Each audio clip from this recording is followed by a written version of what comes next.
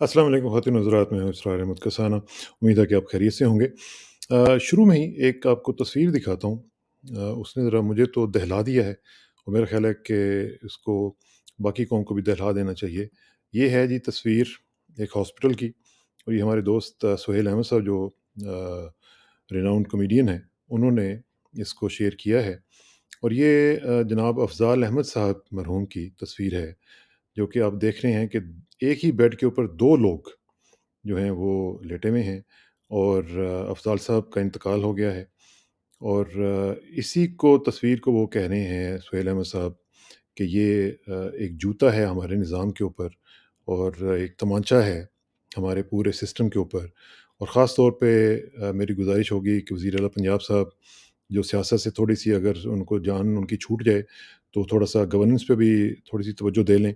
और फिर जो वज़ीर वज़ीर सेहत हैं, उनको भी चाहिए कि वो इस तरह की चीज़ें देखें कि एक-एक बेड के ऊपर 2-2 मरीज़ जो हैं, वो अगर इस तरह मर रहे हैं और और वो शख्स के जो सारी ज़िंदगी पाकिस्तान के लिए, पाकिस्तान का नाम रोशन करने के लिए अपनी तग-ओ-दो करता रहा, उसका नाम बुलंद करता रहा, आज उसकी ये हालत हम देख रहे हैं कि एक बेड के ऊपर 2-2 लोग जो हैं, उनको रखा हुआ है और वो ज़ाहिर है किसी हालत में बेचारे इस दुनिया से चले गए। अल्लाह ताला उनके दर्जात बुलंद करे, लेकिन जाते-जाते हमारा जो निज़ाम है, उसको वो एक्सपोज़ कर गए हैं और वो बहुत ही बुरे तरीके से एक्सपोज़ करके गए हैं। अल्लाह ताला उनके दर्जात बुलंद करे और उनकी फ़ैमिली को अल्लाह ताला सब्र जमील अता करे। एक तो ये है कि हमने देखा कि आज मुख्तलिफ़ रिपोर्ट्स आई कि आर्मी चीफ़ का पहला जो ऑफ़िशियल दौरा जो था, वो एलओसी का हुआ है, विच इज़ वेरी गुड। मैं समझता हूँ कि मैं उस पर बड़ा खुश हुआ कि उन्होंने एक ऐसी ऑप्टिक्स को चूज़ किया है जो कि बड़ी ज़बरदस्त थी और वो एलओसी में गए हैं चक्री सेक्टर पे, वहाँ पे जाके ये बड़ा टफ़ सेक्टर है। मैं खुद भी वहाँ पे गया हुआ हूँ और हमने देखा हुआ है। ये जो सेक्टर है, इस पर जाना और फिर जाके इंडिया को एक मैसेज देना कि आप ये जो प्लानिंग कर रहे हैं आज़ाद कश्मीर के हवाले से, तो ये इतना तरने वाला साबित नहीं होगा। तो ये मैं समझता हूँ कि बहुत ज़बरदस्त पहला maiden trip uh, to LOC ये बहुत ही अच्छी ऑप्टिक्स मैं समझता हूँ कि उन्होंने दी हैं और ये अच्छी शुरुआत है। इसके साथ-साथ हमने देखा कि दूसरी तरफ़ जो हैं वो चीज़ें, वो कोई इतनी सही नहीं जा रही हैं और वो इस तरह कि सेनेटर आज़म स्वाति साहब का जो एक सिलसिला चल रहा है, उसमें हमने देखा कि उनको हॉस्पिटल से ही जो बलूचिस्तान की पुलिस है, वो ले गई है और वो बड़े इंटरेस्टिंगली जहाज़ पे लेके गए हैं और एयरफोर्स का जहाज़ जो है, वो यूज़ हुआ है। तो ये बड़ी ही आईब्रोज़ जो हैं वो खड़ी कर रहा है और अलार्म बेल्स जो हैं वो बजनी शुरू हो गई हैं कि ये क्या हो रहा है? क्योंकि डर्टी हैरी का जो एक सिलसिला चल रहा था, वो लोगों ने तो ये सोचा था कि शायद पिछले जो आर्मी चीफ़ थे उनके जाने के बाद ये सिलसिला रुक जाएगा। और साथ ही हमने देखा कि शहबाज़ गिल के ऊपर भी एक एक और मुकदमा जो है वो हो गया है और उसको भी मैं समझता हूँ कि इस तरह नहीं होना चाहिए था। मैं देख रहा था कि इसको इमरान खान साहब जो हैं, उन्होंने भी इसको ट्वीट किया है और उन्होंने ये अ, कहा है कि सेनेटर आज़म स्वाति से रवा रखे जाने वाले इंतकाम से भरपूर जबर तशद पर कौम हैरत सदमे की शिकार है कि ये सब किस जुर्म की पादाश में किया जा रहा है? क्या ये सब सख्त ज़ुबान इस्तेमाल करने और सवाल उठाने पर किया जा रहा है, जिसका एक जमहूरी माशरे में सबको हक हासिल है?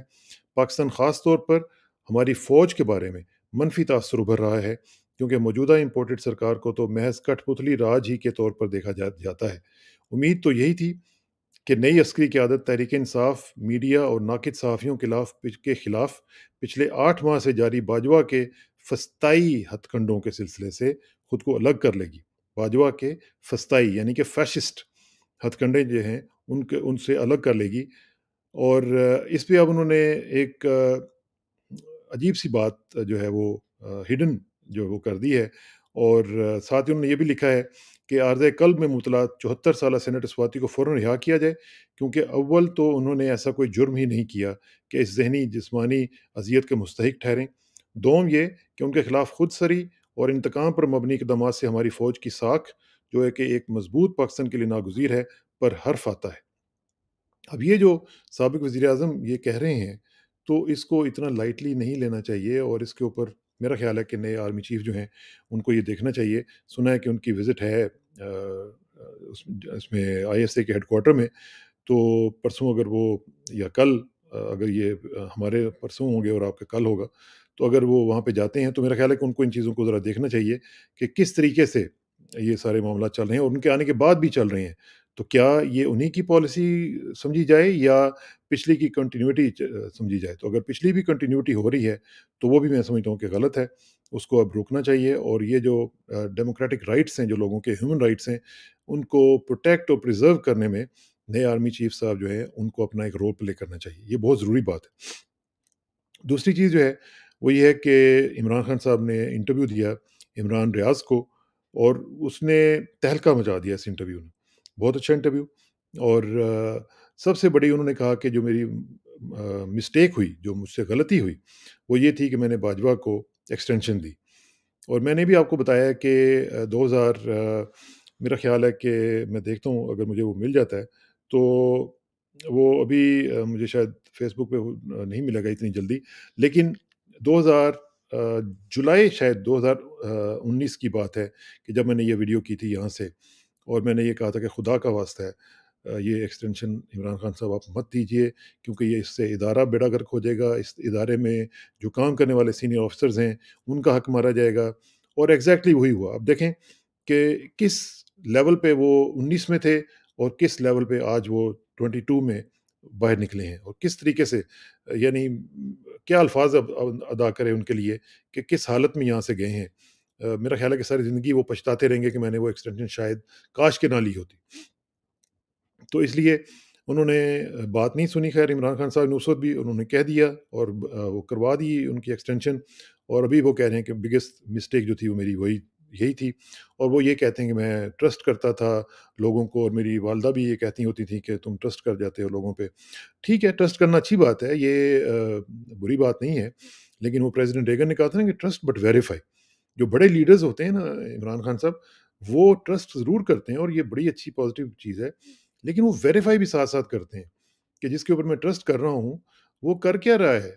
वो अ, हमारे प्रोफ़ेसर प्रोफ़ेसर अहमद रफ़ीक अख्तर साहब अक्सर फ़रमाया करते हैं कि विलिंग सस्पेंशन ऑफ़ डिसबिलीफ कि अपनी जो डिसबिलीफ की जो आँख है, उसको हमेशा खुला रखा करें।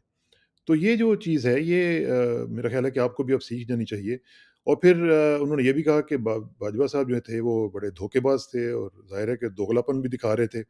और वो मुख्तलिफ़ जगहों पे उन्होंने उनको इस तरह नोट भी किया। और अ, मैंने भी सुना है कि वो मुख्तलिफ़ मीटिंग्स में मुख्तलिफ़ जो उनकी सिविलियंस के साथ भी मीटिंग होती थी और जो बाकी भी मीटिंग्स होती थी, तो वो ये कहते थे कि यार लोगों को मामूँ बनाना चाहिए, लोगों को बेवकूफ़ बना के तो अपना जो है ना वो सिलसिला आगे चलाना चाहिए। तो ये उनकी पॉलिसी थी।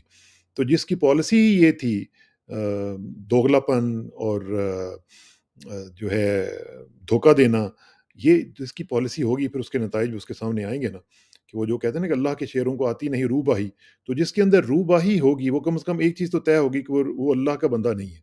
वो अल्लाह के ऊपर बिलीव नहीं करता, अल्लाह के ऊपर उसका ईमान जो है बहुत कमज़ोर है, मुतज़लज़ल है। तो ये इस तरह की चीज़ें जो हैं उनके सामने आईं और फिर उन्होंने देखा कि किस तरीके से ये मामला यहाँ तक पहुँचे हैं और क्यों यहाँ तक पहुँचे हैं। मैं मैं समझता हूँ कि ये अ, हमारे इदारे के लिए भी, फ़ौज के जो इदारा है एज़ एन इंस्टीट्यूशन, उसके लिए भी ये एक इम्तिहान है कि वो ये देखे मैंने उस दिन भी बात की थी कि फ़िल्टर्स लगाए जाने चाहिए कि और ये पीएमए से लगने चाहिए। पीएमए में जो हमारे साइकियाट्रिस्ट या साइकोलॉजिस्ट वहाँ पे अगर बैठे हुए हैं, जो कि होते हैं मुझे पता है, तो उनको भी ज़रा थोड़ा-सा अपना काम करना चाहिए और वो शुरू से उनको देखना चाहिए कि एक बंदे का जो माइंडसेट है वो है क्या? और फिर मुझे समझ नहीं आती कि इस तरह के लोगों की प्रमोशंस कैसे हो जाती हैं? यानी अगर चलें उन्होंने साइकोलॉजिस्ट उस वक़्त उसको पिन पॉइंट नहीं कर सके, तो ओवर द ईयर्स पता चल जाता है किसी बंदे का कि ये किस तरह का बंदा है। फिर उसकी कॉम्पिटेंस कैसी है, उसका ज़हनी जो माइंडसेट है वो किस तरफ़ का है। तो ये चीज़ें जो हैं वो वो देखी जानी चाहिए थी और पता नहीं कैसे हाईएस्ट लेवल पे एक बंदा पहुँच के पूरे मुल्क का बेड़ा गर्क करके और फिर चला जाता है और फिर वो he can get away with it. ये भी एक अजीब बात है कि ना कोई उसको पूछता है, ना उसको कोई बुलाता है कि भैया आपने क्या किया था? किस त कैसे किया था? अ, कोई सज़ा और जज़ा का निज़ाम ही नहीं है।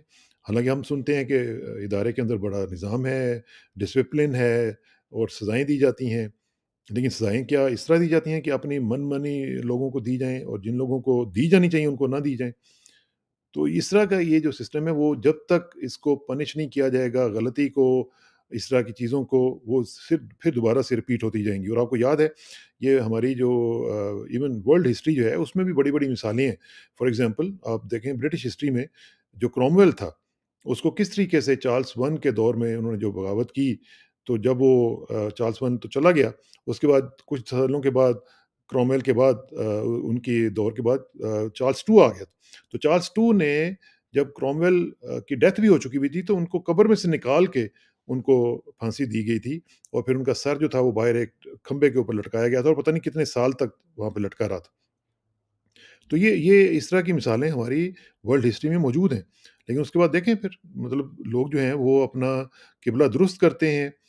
मुख्तलिफ़ जो कौमें हैं वो अपने-अपने मामला को ठीक कर लेती हैं। तो यहाँ पे ये है कि हम बात करते हैं तो वो लोगों को बुरा लगना शुरू हो जाता है।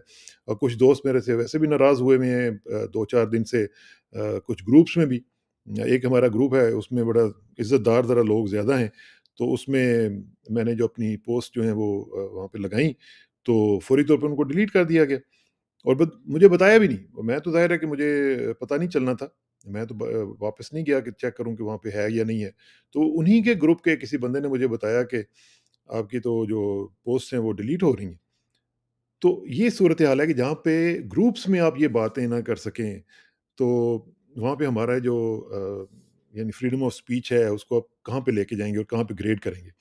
तो इसलिए मैंने तो ख़ैर वो फ़ौरन फिर वो उस ग्रुप को एग्ज़िट किया कि भाई जहाँ पे बात नहीं आप कर सकते, वहाँ पे रहने का क्या फ़ायदा है और जहाँ पे इज़्ज़तदार लोगों की इज़्ज़त इतनी में ही जो है वो डैमेज होना शुरू हो जाती है और डिस्टर्ब होना शुरू हो जाती है कि उनको कोई क्वेश्चन कर दे, तो फिर ऐसी जगहों पे रहना मेरा ख़्याल है कि नामुनासिब ही बात है।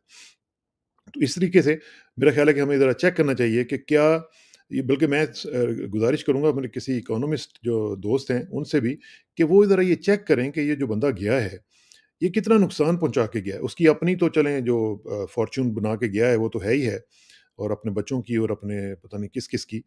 तो लेकिन पाकिस्तान को कितना बड़ा नुकसान करके गया है, पाकिस्तान की इकोनॉमी को कितना बड़ा नुकसान करके गया है। मैं गुज़ारिश करूँगा अपने दोस्तों से जो इकोनॉमी से डील करते हैं और वो वो इसके तरफ़ इसको क्वांटिफ़ाई करें, इसको फ़िगर इसका कोई दें हमें कि कितना बड़ा नुकसान वो इस मुल्क को वो पहुँचा के गया है और हमें पता भी नहीं है कि वो कितना बड़ा नुकसान करके गया है। तो ये जो सूरत-ए-हाल है इसमें मैं समझता हूँ कि ये बड़ी ही इंपॉर्टेंट है। यहाँ पे बल्कि मैं चाहता हूँ मैं ना आपको दिखाऊँ कि ये एक ट्वीट है जो मैं नहीं कह रहा, ये हारून असलम साहब हैं। ये साबिक लेफ्टिनेंट जनरल हैं। तो उन्होंने ये लिखा है कि he has fallen into the abyss of ignominy. Ignominy क्या होता है? Public shame, disgrace. तो उन्होंने अ, आउट गोइंग चीफ था, अब मैं उसका नाम भी नहीं लेता, ना मैं जो मैं कहता हूँ वो भी नहीं कहता। लेकिन जो एक जनरल साहब, साबिक जनरल साहब खुद कह रहे हैं कि वो एक एक अबिस की क्या कहते हैं? गहराई और जहन्नुम की गहराई कह लें या जिसको भी कह लें, एक पब्लिक शेम की जो गहराई गहरा तरीन जो एक जहन्नुम है, उसमें वो अपने आप को उसने डाला है। और efforts to rehabilitate his image is an exercise in futility और अगर आप उसकी इमेज को बहाल करने की कोशिश कर रहे हैं, तो ये ये कामयाब नहीं होगी। You are adding insult to to injury. आप यानी नमक जो है वो डाल रहे हैं ज़ख्मों के ऊपर, तो ये ये मेरे अल्फाज़ नहीं हैं। ये एक सबक जनरल के हैं, जो कि इनके साथ कहीं ना कहीं मिलता रहा होगा, सर्व करता रहा होगा। तो इस तरह के जो सिलसिले हैं वो मेरा ख़्याल है कि अब देखने की ज़रूरत है और ये इंट्रोस्पेक्शन की ज़रूरत है। देखें इकबाल ने कहा था ना कि आप थोड़ा-सा द्रूमबीनी के अमल से भी गुज़रें, उससे क्या फ़र्क पड़ता है? आप देखेंगे इंसान मुकम्मल तौर पे तो नहीं है, कोई भी परफ़ेक्ट तो नहीं है। लेकिन अगर आप खुद देखें कि भाई कहाँ पे हमारा इदारा जो है वो गलती कर रहा है। कल जनरल नईम खालिद लोधी साहब ये कह रहे थे ना कि ये हम लोग हुकूमत नहीं कर सकते। हमें एक तो ये है कि हुकूमत करनी भी नहीं चाहिए और उन्होंने कहा कि हमें हुकूमत करनी आती भी नहीं है। तो जो काम आता भी नहीं है और फिर आप चस्के ले-ले के जिस तरह वो पुराने बाबे के बारे में लोग कहते हैं कि वो चस्के लेता था उसमें मीटिंग्स के अंदर कि सियासत की बात करो यार, छोड़ो बाकी प्रोजेक्ट्स वगैरह होते रहेंगे। तो इस तरह की चीज़ें जो हैं वो मेरा ख़्याल है कि इनके ऊपर ज़रा गौर-व-फ़िक्र करते रहना चाहिए और देखना चाहिए कि वो अ, कैसे-कैसे सिलसिले वो बना के गया है, किस तरीके से ट्विटर के ऊपर ऐसे ट्रेंड्स क्यों चल रहे हैं, बाजवा ट्विटर, बाजवा गद्दार। ये ये जो गद्दार वतन, इस तरह के जो ट्रेंड्स हैं वो क्यों चलते हैं? फिर आज जो एक ट्रेंड चल रहा है वो धोखेबाज़ भी था। यानी इस तरह के ट्रेंड्स जो हैं वो वो चल रहे हैं और वो मुख्तलिफ़ तरीकों से अपनी बात लोग कर रहे हैं और ज़ाहिर है कि आप छुपा नहीं सकते, आप बता नहीं सकते उनको कि भई आप ऐसे करेंगे, वरना हम उठा के ले जाएँगे। कितने लोगों को उठा के लेके जाएँगे आप? कितने डाले भेजेंगे आप? लेकिन ये अब वक़्त आ गया है कि इंट्रोस्पेक्शन होनी चाहिए, दूर-बीनी के अमल से गुज़रें, इद इदाराती सतह पे भी और इंडिविजुअल सतह पे भी। आखिर में सिर्फ़ मैं ये बात करूँगा कि मुनिस इलाही साहब ने जो इंटरव्यू दिया है उसने भी काफ़ी एक्सपोज़ करके रख दिया है, भाजपा को भी और उनके डॉक्ट्रिन को भी और उनके जो मानने वाले अभी तक जो उनको डिफेंड करने वाले दोस्त हैं हमारे, उनको भी, कि किस तरीके से ये सब कुछ हो रहा था और अभी तक उन लोगों को ये ख़्याल नहीं आ रहा कि इतना ब्लैटेंट और नेकेड जो इंटरवेंशन हो रही थी, उसके ऊपर अभी भी उसको वो डिफेंड करने की कोशिश कर रहे हैं। तो मैं उनको सलाम ही कर सकता हूँ क्योंकि हमें दीन तो यही सिखाता है कि अगर इस तरह की चीज़ जब आपके सामने हो, तो फिर आप उनको सलाम ही पेश करें, ज़्यादा बात ना ही करें तो अच्छा है। और जो लोग भी मुझे रोक रहे थे कि आप इस तरह की बातें ना करें, मुझे आज ही पता चला कि सिंध के एक दानश्वर जो हैं वो बड़े ही बुरी हालत में उनको सिंध की गवर्नमेंट ने बहुत ही तंग किया हुआ है। उनका नाम है मुश्ताक कामिलानी। मैं उनका एक कोट आपके सामने आखिर में रखता हूँ कि उन्होंने ये कहा है कि अगर खुदा ने तुम्हारे मुँह में ज़ुबान रखी है और उसे सच कहने के लिए उसका इस्तेमाल नहीं करते, तो एक एहसान करो, उसे कटवा लो। और ये तमाम ये जो ग्रुप्स वाले जो है ना, ये व्हाट्सएप ग्रुप्स वाले जिनको बड़ी उनकी इज़्ज़त बड़ी कंप्रोमाइज़ होने लगती है, उनके लिए भी ये मेरा मैसेज है कि अगर आप नहीं इस्तेमाल कर सकते ना हक गोई के लिए, तो फिर उसको कटवा लो। और हाँ, जहाँ इतनी मेहनत होगी, वहाँ एक काम और भी करवा लेना। अपनी ये नाक भी कटवा लेना। क्या? अपनी ये नाक जो आपने पाकिस्तान से भी बढ़ के रखी हुई है, इसको भी कटवा लेना ताकि इंसानियत को तुम पर कम से कम शर्म तो ना आ सके। इतना ही काफ़ी है मेरा ख़्याल है। बहुत शुक्रिया।